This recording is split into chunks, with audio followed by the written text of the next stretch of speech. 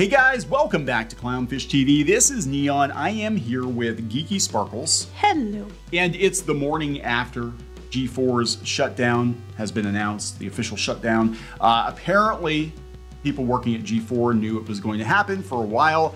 They just didn't bother telling anybody who worked there. Oh, you mean like the main head, the head, the higher ups knew, but they didn't tell the employees. Yes. Oh. Yeah. yeah. So uh, the employees. Sorry, that's that. That's about right. That is about right. The employees found out via uh, Deadline and Variety yesterday. No. Yes, you weren't here for that video. Yeah, they found out via the. I the mean, I knew what happened, but I didn't know that that's how they found out. Yes. So Sunday oh, that night. Shit. Sunday night, the news drops that uh, they put a statement out that they were shutting down G4 effective immediately, and a lot of people didn't didn't know. Most people didn't know. It's like I don't know how you couldn't have was known. saying, I mean, I'm surprised it made it as long as it did. Honestly. Uh, so now they kind of add insult to injury, and they put a tweet out, a public tweet out uh, to their fans today, posting the letter that they gave to Deadline. Uh, again, I think before telling staff one on one that they were gone. Uh, you know, and of course, the reason they cited was that it wasn't financially viable. I can't imagine why, when they pull 10 to 20,000 views a day on YouTube, which isn't a lot of money in YouTube dollars, and they spent this much mu- on this plane? this much money on this place. They, they spent this much money on this esports stadium when Attack of the Show looks like it's filmed in a, a man cave basement. They could have literally just gone out and, and bought a house and just filmed shit in the basement, Yeah. and they would have probably gotten more It bang would for have the buck. same look as the upstairs. Yeah, like this is this is ridiculous. This is in Burbank, so this is like Like a sealed concrete, and upstairs looks like a basement. 60,000 square foot. I'm told this is a 60,000 square foot space that they rented, and they could barely crack 20,000 views in a day. This reeks of like money laundering. I'm sorry, I'm not saying that's what it is, but it doesn't make No, any I'm sense. starting to think that That there was something else going on here because I, I mean, this should have been a slam dunk. This could have been a slam dunk. It could have been, but then they, the people they hired or they can blame their misuse of misappropriate. I mean, if you weren't sure how it was going to go, you think you'd start out a little smaller, and then if it did really well, you'd expand to this because no one's going to know if you just have a couple set, you know, sets that you're in. It Mm. doesn't matter what kind of building you're in; it's the sets. And then this. Uh, what is so I mean, they could have just done green screen or something. Like make it look like you're in a fancy place and whatever. We are very mid YouTubers, mid-tier YouTubers, right? I don't know Um, for mid. I don't even know if we're mid. We're, we're small. We're under under a million subs. We get more views and we make more money than G4 working out of our house. hmm I mean, that's that's the reality. And there are a lot of people like us who have bigger fan bases than us that make a lot more money than G4 did working out of their houses. Oh yeah, some of the bigger gaming YouTubers. I mean, Millions of dollars a it's year. just it's just there's no comparison. I mean, they do more in an hour than these people did in like a month. Yeah, so this was this was doomed to fail. Uh, They hired. They should have hired people that actually, people actually want to watch. And then when you had people going out and shooting their mouths off, you should have dealt with it immediately. Shouldn't Yes. have praised it. You shouldn't have done recuts of it and kept you know running with it. You should have been like shit and then tried to fix it or found people that you know weren't going to act that way. Yeah, so let's let's talk about the aftermath of uh, this debacle, and I'm sure this is going to be one I, I said yesterday on Twitter. For years to come, there are going to be videos out there by people who do these kinds of videos of you know what went wrong with G4 2.0, and they're going to be like three hour documentaries because there's so much Yeah, I look forward to that. yeah, so much to unpack. And I think these salty employees are going to be spilling the tea over the next Yeah, couple especially weeks, the ones months. that weren't like the ta- the quote unquote talent, but the ones Yeah. that actually made it go, who also lost their jobs because of bad behavior of people like you know Frosk and stuff. Yeah, so let's let's talk about this before we get into it any further. Please subscribe for more pop culture news, views, and rants. Guys, over two hundred seventy-seven thousand subs. Uh, thank you for the support. We do talk about video game news. We talk about streaming news. We've been talking about G4 because I, I, I short of New Coke or the Arch Deluxe, I, I haven't seen many other. Well, no, I can't say that. We just got done recording a Lord of the Rings video. There's all kinds of crazy shit going on with uh, media thinking they can compete with individual influencers and failing catastrophically. Mm-hmm. And unfortunately, a lot of people are going to be out of a job now because of a couple of people making Well, dumbass decisions. Back when they were big, let's be honest here, you didn't have the competition No. you have now, and you have people that do it better, do it cheaper, and and people actually like that. Yeah, you are uh, bringing back a radio show. you know, Right. basically in the era of color TV, Mm-hmm. and that's that's effectively what happened here. Uh, so right out of the gate, But it didn't. it could have worked if they had, uh, you know, done it a, a bit cheaper, gotten uh, better that weren't people, asshats. gotten people that weren't asshats, but they got cocky. They thought this was going to be, you know, the controversy. I guess they thought was good. My understanding from what I've seen um, is that Frosk they concocted this whole rant as a way to promote the channel, create controversy. Oh my god, they did it on purpose. Yes. And then they said you Oh. could see the look in her face after she delivered the rant that she knew she done fucked up. But then she double tripled down when her coworkers got laid off and she didn't. She's like, I survived, bitches. And then she was gone a couple days later. I So, think you know. I think they, they got rid of her for that reason. Yeah. I mean, everybody got got gone now, but I mean, aren't you proud? So uh, yeah, people saying that they found out through deadline. that's not okay. It's messed up. it That's- is messed up. That that I'm gonna take their side on that one. That is not oh, that no. Uh, one person in particular was like, I'm coming back from my grandfather's funeral, and I just found out that I'm out of a job. That's awful. you know and i, I guess my thing is I, it is awful um, people said that the reason corporations do this a lot of times is they don't want to affect the stock price they want to get out ahead of it but yes. i'm also like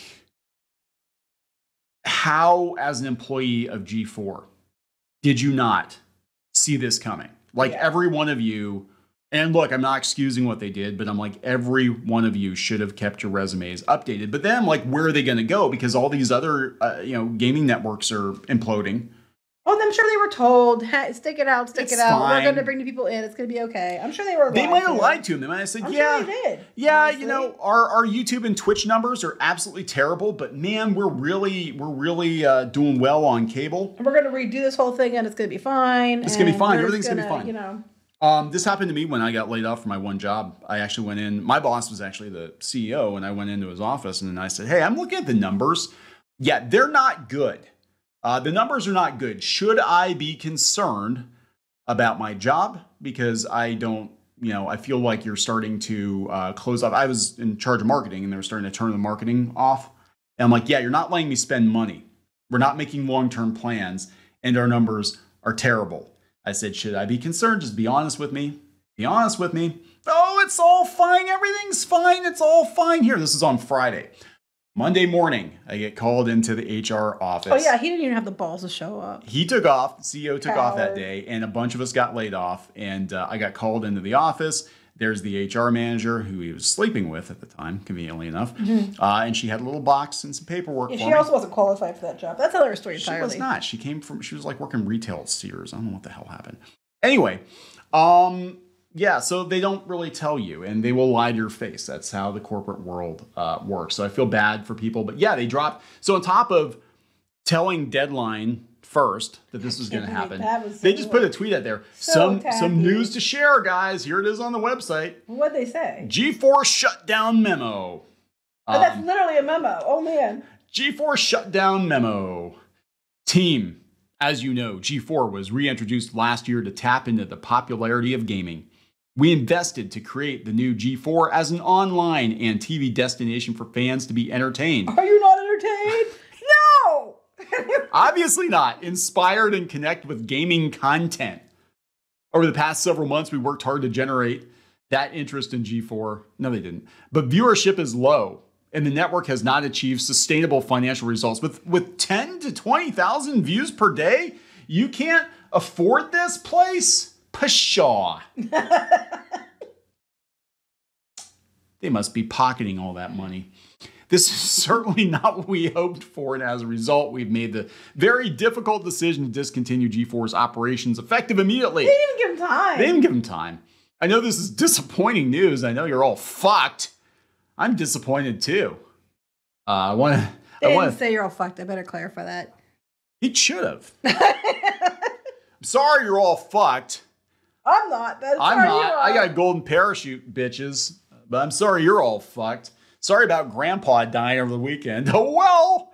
Uh, game over, motherfuckers. Uh, I wanted to thank you and everyone on the G4 team for the hard work and commitment to the network. Our human resources team is reaching out to you to provide you with support, discuss other opportunities that may be available. Maybe, maybe, possibly, and answer any questions you may have. Thank you for all your hard work. Sincerely, Dave. I don't know if he signed that himself or his secretary did. I don't know. It didn't go over very well. Um, Well, I don't think so, especially since they didn't let them know. yeah, what a way to find out you don't have a job. Um, everyone at G4 did their job well. in that. Ah, that's a everyone. no. Shocked. I'm shocked to hear the G4 TV is shutting down again. How are you shocked? How is anybody surprised? Did you read the rest of this one? A hybrid of a TV internet network was not a bad idea. I just don't think it was marketed and took care of by Comcast even before the Frosk controversy. In fact, the Frosk controversy was their biggest promotion. That's not untrue. I I think they thought that they could come back and be like, "Hey, you miss us? We've been gone for like 10 years." You know, this is like speaking of Brendan Fraser. We were talking about Brendan Fraser in the previous video. Uh, it's like blast from the past.